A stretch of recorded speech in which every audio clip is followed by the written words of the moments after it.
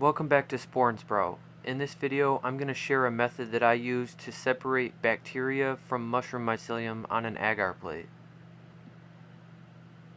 Bacteria seems to be one of the most prevalent forms of contamination that you can experience in mushroom cultivation. The bacteria can even embed itself in the mushroom mycelium, so if you just try to transfer away from the bacteria to a new agar plate, the bacteria can still emerge. So that's where the agar sandwich method comes in to separate that mycelium from the bacteria. And all you have to do is pour in some warm agar on top of that contaminated agar culture and then allow that to cool down. After a couple hours in front of the flow hood, it has solidified, so I wrap it in parafilm and incubate it at 75 degrees Fahrenheit for a few days.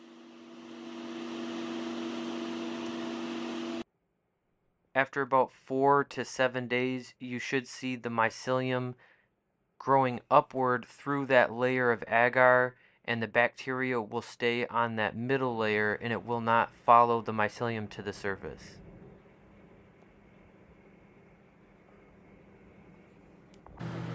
This will give us the opportunity to scrape that aerial mycelium off of the surface and transfer it to a new agar plate.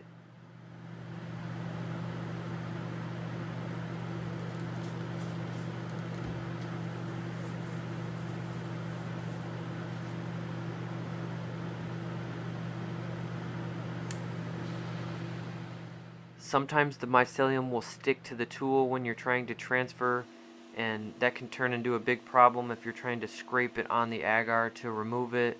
You could damage the agar. So I like to use two stainless steel flame sterilized tools. That way I can kind of manipulate the tissue to fall onto the agar. If you're flame sterilizing the tool make sure you wait long enough for the tool to cool down before scraping the mycelium I usually wait around 5 minutes in front of the laminar flow hood for it to cool down before I start the transfer.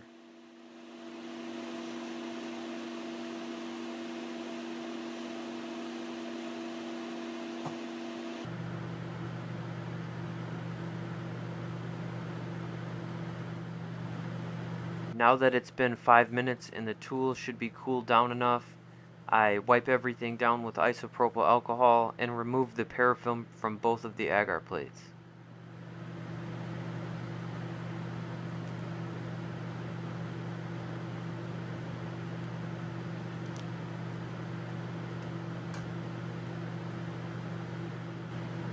Now I just use one of the tools to scrape the mycelium and transfer it to the new agar plate.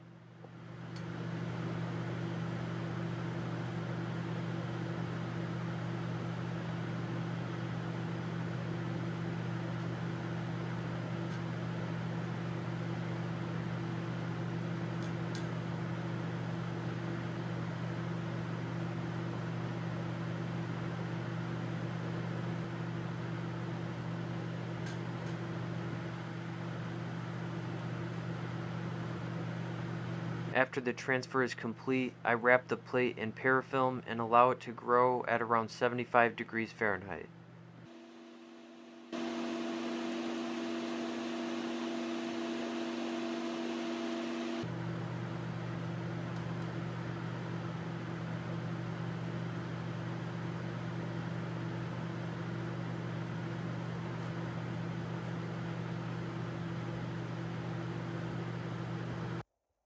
After about two days, you can already see the mycelium growing bacteria-free on the new agar plate.